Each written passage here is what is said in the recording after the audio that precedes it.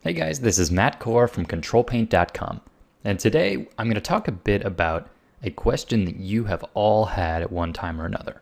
And that question is simply, what should I draw today? And this little question can get in the way of a good day of possible drawing because you're sort of stuck at the blank white canvas. Well, first I'd say that once you're a professional, you never have to really ask that question during the workday again because images like these that you're looking at here were given to me as assignments. I had to draw very specific things to fit specific criteria. So for me, it wasn't a question of what should I draw today. The subject might have been a sci-fi mothership and it had all kind of specific requirements. So for me, the question was, within those guidelines, how do I make something that's the very coolest? And what that does is it changes the question completely. I'm no longer paralyzed by this sense of, oh, I could draw anything. Should I draw a creature? Should I draw an environment? Something about that is a bit paralyzing. But even if you are a professional, you're going to be doing a lot of personal work. And that means you can be paralyzed by the exact same problem. What should I draw today? So, as a broad answer to that question, I'd first say draw something that is out of your comfort zone. This is the way we get better. If you need help with faces, draw a character. If you need help with perspective, draw an environment. But that doesn't really answer your question very specifically. So if you want to answer that question a little more specifically, it's great to have assignments. Sometimes it's good to go on to existing forums like conceptart.org, and they have weekly challenges. So somebody will give you a prompt, and a bunch of people will answer that same challenge. But if working publicly like that is not for you, the next thing I'd suggest would be random generators. So this is a random generator that is designed to help people create role-playing games, specifically things like Dungeons and Dragons.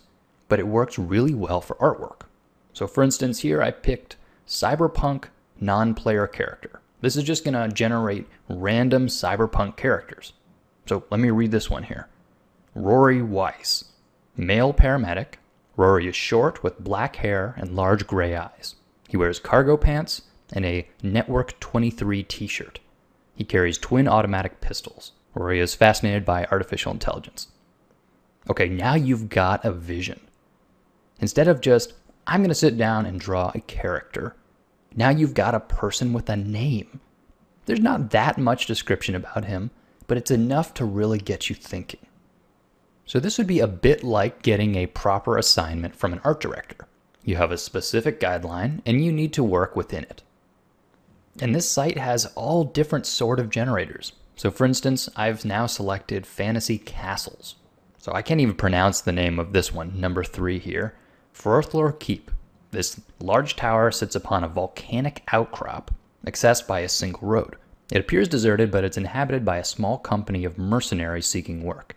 The road which leads to the tower is lined with large stones.